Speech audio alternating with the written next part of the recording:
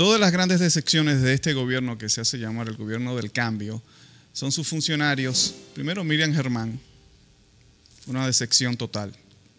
Y el otro es, para mí, Carlos Pimentel.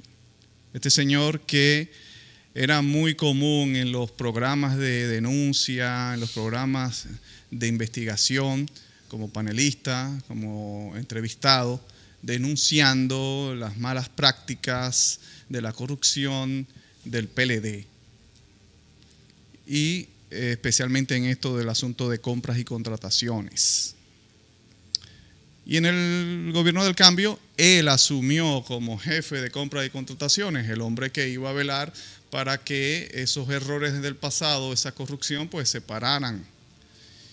Y estamos viendo que eso sigue no solamente igual, sino que sigue su natural evolución. El problema de las licitaciones aquí en la República Dominicana sigue eh, su evolución. Es decir, ahora hay más. Entonces, yo me pregunto algo, porque los escándalos que se han destapado, los afectados han tenido que hacer un trabajo de media tour y ir eh, a los medios alternativos. A medios alternativos donde aparentemente esos 8 mil millones de pesos que el gobierno ha destinado a comunicación no han llegado. Y es ahí entonces en los medios alternativos donde se destapan los asuntos. ¿Qué pasó? ¿De qué? Nada, continúa. No, ¿tienes algún problema con mi comentario? siga, siga, caballero. ¿Tienes algún problema? Avance, aterrice, por favor. No, eh, lo que estoy diciendo es que cómo es posible que un, un contrato llegue, se hagan pagos, se hagan pagos a los contratistas, se empiecen la obra y que después por la insistencia de las denuncias, se vea entonces obligado al señor Carlos Pimentel a decir, ah, sí, hubo irregularidades, pero no se supone que usted está para evitar ese tipo de cosas y para evitar de que antes de que, antes de que se hagan los pagos, usted revisar que todo está bien. No se supone que para eso que lo pusieron ahí. Entonces, yo no entiendo cómo es que ahora Jochi Gómez dice que no, pero eh, se hizo un 60% del pago. 65. Un 65% del pago. y tienes razón. menos. ¿Cómo menos? No, no, no. Lo que ha trascendido comunicacionalmente es que se ha ejecutado un 65% del pago. ¿Un qué? 65% eso es lo del que, pago. Eso es lo que acabo de decir. Sí, pero no dijo Hochi. ¿Qué dijo Hochi? Eso lo, dijo eso lo arrojó la investigación del contrato posterior que tú reclamas que se hizo posterior. Muy bien. ¿Verdad? Hochi dice todo lo contrario. Hochi dice que lo que, se ha lo que ha recibido la empresa realmente es un 20% del pago. Bueno. No un 65. O sea que hay un 45 que está en el aire.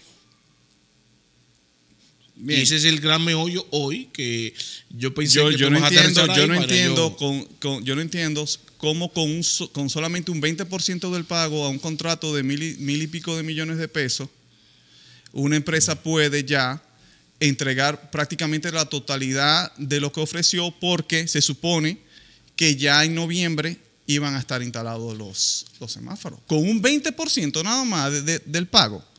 Eso no me cuadra a mí. No, eso no, eso no cuadra por, por parte de Maracayo porque ese contrato se firmó a cinco años. Sí, pero disculpa, Mario. Lo que yo quiero significar es que aquí en este tema se habla de Hugo Vera, se habla de Hochi como los grandes culpables de esta vaina. Y sí, ok, perfecto. Pero Carlos Pimentel, ¿dónde está?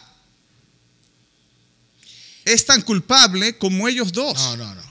Claro, porque es el responsable, es el señor que yo le pago mi dinero para que evite ese tipo de cosas, para que evite ese tipo de fraude hacia pero mí. él tiene mecanismos y software y protocolos que, en este han fallado contrato, Han fallado todo. No, no, no, no, no, no, pero ajá, pero eso no es culpa de él. Ah, no es culpa de él, pero entonces es culpa de quién? No, pues él puede ser responsable, pero no culpable. Pero eliminen esa mierda de, eliminen esa dirección de, de compra y contrataciones. Dame explicar, dame explicar. Yo le expliqué la otra vez y no voy a enfrascarme en explicar técnicamente por qué. Ahora, yo sí le doy, aparte de la responsabilidad culpa la vida ahora, pero no por lo que tú dices.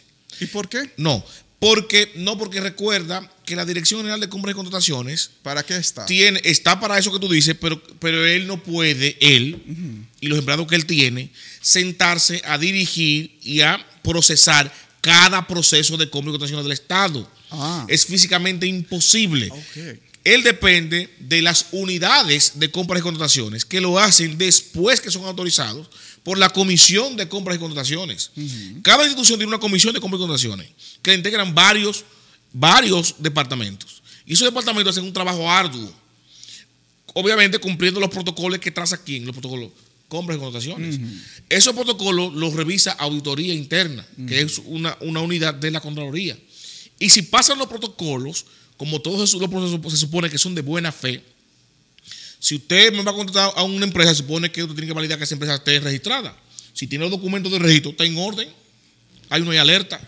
Si usted va a hacer una licitación, tiene que buscar cuatro oferentes, llegan, cua- hay una alerta. Entonces, si ese proceso está bien y los auditores lo pasan bien y compra lo pasa bien y lo suben al sistema que maneja compras y contrataciones, que es el portal, ¿verdad? Transaccional, y todos los documentos se suben y están bien con su firma, con su sello también, en principio ahí no hay ningún problema, salvo que hayan denuncias, salvo que salte una alarma por incumplimiento de, fechas, ¿verdad? De los plazos fatales y tal. En ese, en, ese, en ese proceso se supone que ahí la parte de contrataciones está cubierta. Ok, Ok, Que pero no, hay un sistema, no hay un sistema de auditoría, lo que tú Sí, quieres decir. hay. No, es que no Sí, lo. pero no. lo acabo de decir. No, viejo, pero ¿qué, audit- qué auditoría es esa? Cuando entonces te meten a papeles falsos. Por ejemplo, Pero que eso. papeles falsos le meten a todo el mundo, mi hermano, y dinero falso, y no que Bien, que tú no lo diste. la- la tú no puedes decir, por ejemplo, a un colmado o a un supermercado que tiene un vaina ultravioleta, que tiene un crayón, Juan se le coló un billete de dos mil pesos. No, tú sinvergüenza, vamos a meter preso al cajero. No, mi hermano. Porque el que está haciendo el fraude está obrando para que tú no detectes el fraude. Porque si no te llevan un papel en blanco que dice, esos son mil pesos, mira, ese es mi billete. Y no coge papel, moneda. O sea, que esa, ese fraude que fue orquestado fue para burlar tanto el Intran como la Dirección General de Contrataciones. Ahora bien, Que no, ¿por qué yo lo Mario, no, todo eso se te cae a ti, todo ese discursito se te cae. Cuando, no, a no es que no, es que todo eso se cae cuando uno de los afectados, Ajá. en este caso el señor Zavala, Sí. va a contras y, contrataciones con documentos y pone su denuncia de irregularidades en esa licitación. Pero que lo que él diga no se convierte en verdad. Disculpa. Cada rato, en cada institución, un, eh, un, un oferente está reclamando. Y no se investiga eso. Esa reclamación no pero se mi investiga. hermano, pero escúcheme. Pero la investigaron en compras y contrataciones. ¿Cuándo la llevó? Obviamente, pero No la- después, a posterior, sí, él la investigó. pero- a, a posterior. Maracayo, escúchame. Ah, el Estado no es una institución. Son demasiadas instituciones. En cada proceso de cada institución, siempre un oferente molesto que denuncia. Hubo fraude. Entonces, ¿cuán- ¿tú crees que, que a Carlos Pimentel ahí en Compra y Contratación le llega, le llega una denuncia o dos o tres? Tú me puedes decir, bueno, si le llegan 500 denuncias, tú tienes que priorizar por lo de los montos más amplios, porque no me digas a mí que me llegó uno, mira, que en tal dirección, un proceso de 30 millones de pesos, hubo una irregularidad. Ay, y este también está denunciando del Intran con 1.300 millones. ¿Qué tú haces? Dice, espérate, vámonos con los 1.300. Eso yo te lo compro. Ahora, ¿dónde yo veo la culpabilidad? Que no es ahí donde tú dices, porque eso es proceso y puede pasar, y se supone que el que hace la estafa obra para que pase, que se burlen algunos protocolos. Ahora, donde yo no se lo perdono, y es lo que no quiero que se escape, porque lo que yo te acabo de argumentar en favor de la Dirección General de Compras y Contrataciones, tratando de ser objetivo, te lo puede decir cualquiera que conozca los procesos internos de una institución. Y eso es válido para la defensa de Carlos Pimentel. Ahora, ¿dónde real y efectivamente está la culpabilidad de Pimentel? Que no ha trascendido en los medios. Esa partecita. Que el Intran, de manera excepcional, pidió el acompañamiento de compras y contrataciones en el proceso. O sea, ahí tiene otra connotación. ¿Cuándo fue eso? Él Lo dijo, Hugo lo dijo en la rueda de prensa. Hugo dijo, en ese proceso, nosotros, sin estar obligados a, y de manera excepcional, pedimos el acompañamiento de compras y todo ese proceso que se aprobó, y contrataciones no fue que lo investigó después, sino que lo acompañó durante. Coño, pero tú me estás dando la razón, viejo. Pero mi hermano, pero escucha, pero que no te estoy dando la razón, escucha. Porque, porque tú me digas a mí, Mario es ladrón porque se robó un mango. Yo digo, tú estás equivocado. Él es ladrón, pero porque se robó esa casa, no fue el mango. Ah, tú me estás dando la razón porque es ladrón, mi hermano. Usted iba por el camino equivocado. Te estoy explicando por qué él sí tiene responsabilidad, no por lo que tú dices. Él tiene responsabilidad ahora directa, Carlos Pimentel, porque según, eso hay que verificarlo en los datos, según Hugo en su momento en la rueda de prensa dijo que ese proceso de licitación, de manera extraordinaria, él pidió el acompañamiento de la Dirección General de Contrataciones. ¿Para qué? Para que no sea solamente auditoría interna de esa institución, ¿verdad? Que aunque responde supuestamente a Contraloría, está debajo de la sombrilla de, la institución y son ellos que pagan. Y la Comisión de Contrataciones, aunque no directamente Hugo, es un grupo de empleados de él. Él dijo, bueno, lo, que dice Hugo, no solamente son mis empleados, ni, el auditor interno que depende de mí, sino que yo pedí directamente a la Dirección General de Compras y Contrataciones del Estado que acompañen este proceso. Eso es lo que dice Hugo en esa rueda de prensa, que de entre todas las cosas que él hizo mal. Esa, esa, es una información para mí que es la más relevante. ¿Por qué? Porque todo ese proceso del Intran, supuestamente, según Hugo, la Dirección General de Contrataciones no la revisó después, ni, ni a través del sistema y protocolo, sino que lo acompañó. Son cómplices. Correcto. Son cómplices. Entonces, si Hugo hizo algo mal, entonces Carlos Pimentel también. Y llama, entonces, y llama, coño, a un juicio de valor importante con el propio presidente de la República, que entonces ahí es donde el presidente comete los errores, que yo no sé dónde están los asesores del presidente. Porque entonces, previo a todo el lío del Intran, días, o sea, día después y previo a la salida de Hugo, le, le dieron un reconocimiento a Carlos Pimentel. Se le entregó el propio presidente, un reconocimiento por la labor que está haciendo. O sea, tú me entiendes. Una burla. La conchupancia Que, que, se evidencia ahí. Entonces, ¿cómo ponen al presidente de la República? Porque yo insisto, yo quiero creer que el presidente de la República está manejando la crisis, no que él está confabulado con eso. Y, se, y él se encuentra con el lío, tiene que salir como pueda del lío. Presidente, míreme, Carlos Presidente está haciendo un trabajo excelente, mira cómo descubrió eso. Tipo bien, coño, vamos a reconocerlo. Y ahí, la gente va a ver que usted está reconociendo el trabajo de transparencia de los procesos. Mire cómo un funcionario suyo sale un escándalo, lo, lo destapó con votaciones y el tipo dice categóricamente que eso está mal y lo desautorizó. Bien, déle el certificado, el presidente va a lo da. Pero ahora, presidente, ¿por qué no dice al presidente? Presidente, míreme, eh, está bien todo eso, pero Carlos estaba metido ahí en, el proceso. Muy bien. Y él le dio aquí esencia a todo eso. Y como explotó, ahora dice que eso está mal. No, Coño, no algo, al presidente entregar un certificado de ese hombre. Y algo, y algo que uno, que uno ha dicho eh, insistentemente, que Alicia Ortega sí hizo una revelación importante cuando el día antes, ¿verdad? De la, digamos, de la renuncia o de la, de la, el, digamos, del pedido de licencia que hizo eh, Hugo Veras, dijo que Transcor LP, la empresa original, ¿no? de la que se copiaron sus datos sus, y, toda, y todas sus operaciones. Según el reportaje. Eh, según el reportaje, claro. Dijo, dijo ella que, según los representantes legales en el país de Transcor LP, desde el 7 de junio le estaban pidiendo que a, a las compras y contrataciones, al gobierno más bien, que, óyeme, me están copiando toda mi, imagen corporativa. O sea, el gobierno lo sabía, ergo, compras y contrataciones. Entonces, además de lo que dice Mario, yo digo que eh, aparentemente pecaron por omisión. Ahora bien, Jochi Gómez, señores, Jochi Gómez ha demostrado con sus acciones que verdaderamente es el hombre fuerte detrás de Transcorlatam ¿eh? la manzana de, la discordia. Explíqueme eso. Explíqueme eso porque yo no, yo no lo entiendo, eh, Mario.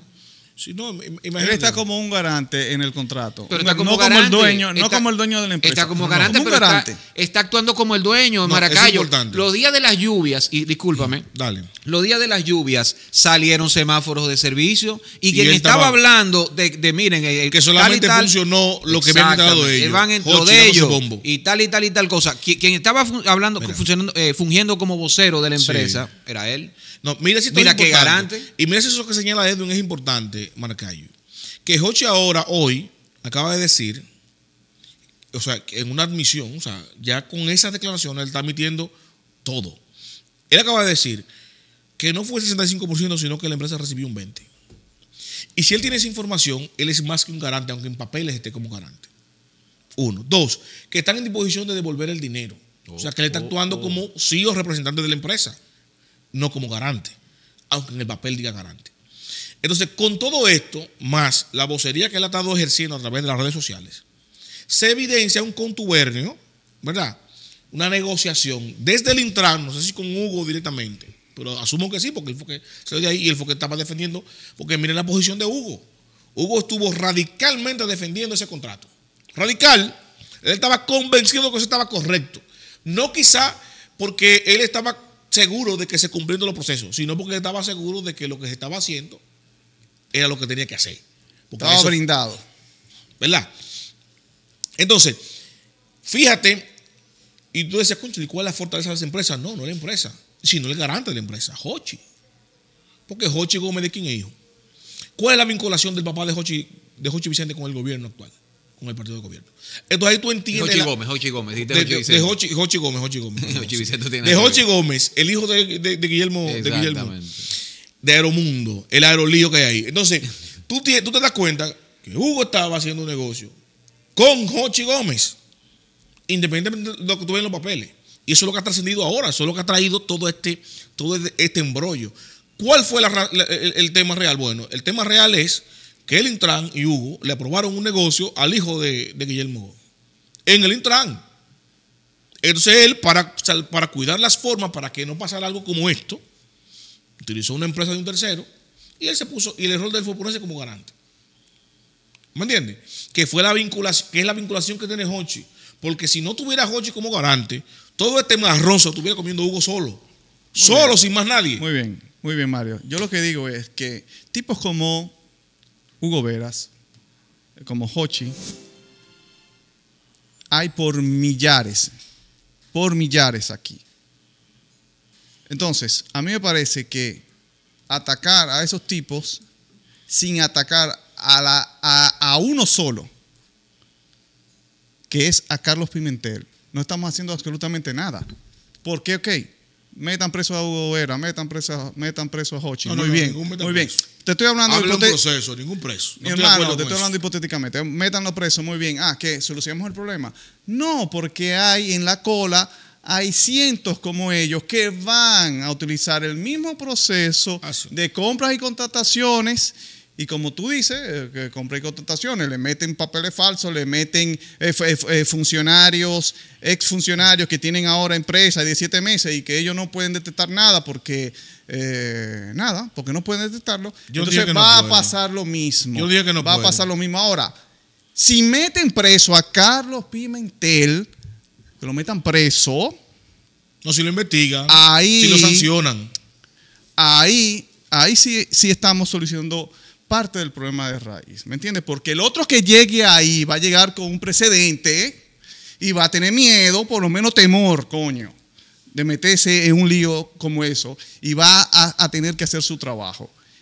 Entonces, Carlos Pimentel debe estar en este caso, debe ir a la justicia por esa vaina. Ya es tiempo, ya es tiempo que empecemos a atacar el problema de la corrupción aquí desde su raíz. Y Carlos Pimentel es un empleado que yo pago con mis impuestos y le pago para que este tipo de cosas no pasen, amigo, no pasen. Y ya hay bastante prueba de que usted tenía esa información mucho antes, mucho antes, y que este señor Hugo Vera se iba a dar lujo de poner esos semáforos ya. Ya, cuando usted tenía meses con esa información. No solamente la información de las irregularidades, sino también la información de esa empresa norteamericana que dijo, hey, esa empresa me está Usurpando. usurpando la entidad corporativa. Y usted no hizo nada. Tuvo que venir una, periodi- una periodista con intereses propios, que ya lo hemos dicho aquí, lo hemos dicho aquí, y hacerlo masivamente público para usted entonces accionar. Y entonces Hugo se dio el lujo de decir, de decir y presionarlo a usted, decir, eh, mire, compre contrataciones, tomen una medida rápida con esto.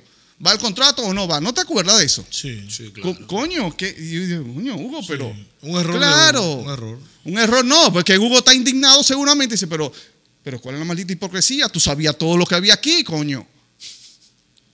¿Tú me entiendes? Sí. Ah, pues toma una decisión rápida, coño. ¿Esto Sí, va o no va? públicamente, ¿cómo le dices eso vaina así públicamente? Porque entonces lo que se está sacrificando él mismo. ¿Y para viene, qué? viene el presidente, como tú dices, a reconocer a Carlos Pimentel una burla al pueblo dominicano, por Dios.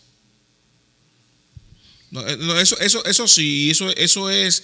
eh, yo entiendo tu punto. Y eliminen, Y, eh, eh, uh, no, Pimentel debe ser investigado y puesto en tela de juicio. No sé qué dirá Milagros Ortiz Bosch con el caso de, de Carmen. Porque el hecho de que públicamente se supiera aquí que compras y contrataciones, la Dirección General de Compras y Contrataciones, acompañó ese proceso, acompañó ese proceso, deja mucho que desear. Porque yo digo a ti, la excusa y el discurso que pudiera llevar Pimentel es que compras y contrataciones acciona a través de los protocolos, de los procesos y del sistema, que tú puedes burlarlo de, de alguna manera, bajo, bajo el, pretexto de la buena fe. Yo no puedo inferir de antemano que tú me vas a engañar. Se supone que actuamos de buena fe. Yo me puedo dar cuenta de eso a posteriori. Pero el hecho de que lo invitaran a acompañarlo es para que usted detectara eso antes y no después. Entonces, si tú le sumas lo que tú me dices a mí, que, que ya él sabía que por la empresa que estaban eh, denunciando, que lo están usurpando, por las denuncias de, de- de de- los oferentes involucrados, dice, mira, eso está, eso está camú, hay un problema. Entonces, y Carlos Pimentel no accionar, para mí accionó. O sea, su inacción hizo más, que fue lo que hizo fue daño.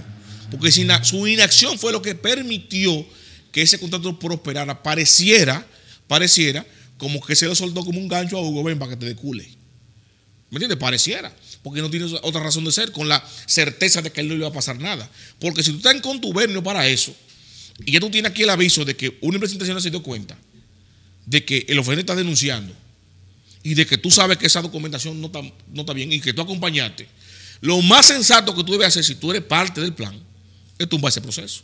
Vamos a tumbar este y vamos a armar otro. Este muñeco se dio cuenta, vamos a tumbarlo y vamos a armar otro muñeco. Eso es lo, más, lo que te dice la lógica, ¿no? Dentro de lo mal hecho. Ahora, ¿por qué se atrevió Pimentel a acompañar ese, ese, ese proceso viendo que no cumplía, que estaban cosas, ¿verdad? Raras, por no decir eh, incorrectas, Amañadas. amañadas en, en el proceso, sabiendo que una empresa está denunciando que lo están eh, usurpando, ¿no? Y con un oferente que está denunciando.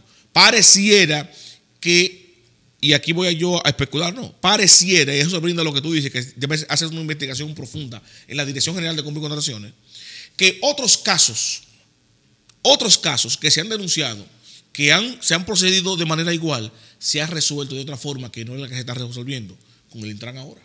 Eso es que me lleva a mí a inferir. O sea, otros casos que otros oferentes han denunciado, que hay amañamiento, irregularidades y falsedades, se ha resuelto tras bastidores. No se ha hecho público, ni se ha sometido, ni se ha tumbado. Y están ahí pagándose ahora mismo. Claro, Eso es lo que me lleva a pensar. claro, lo único. totalmente. Bueno, señores, mientras Hochi Gómez siga ventilando este tema en público y siga revelando ese tipo de cosas, el aeroproblema será para el gobierno. Esto es La Quinta Pata, Mario Herrera, José Maracayo, Edwin Cruz. Comenten, suscríbanse, activen campanita y todo eso.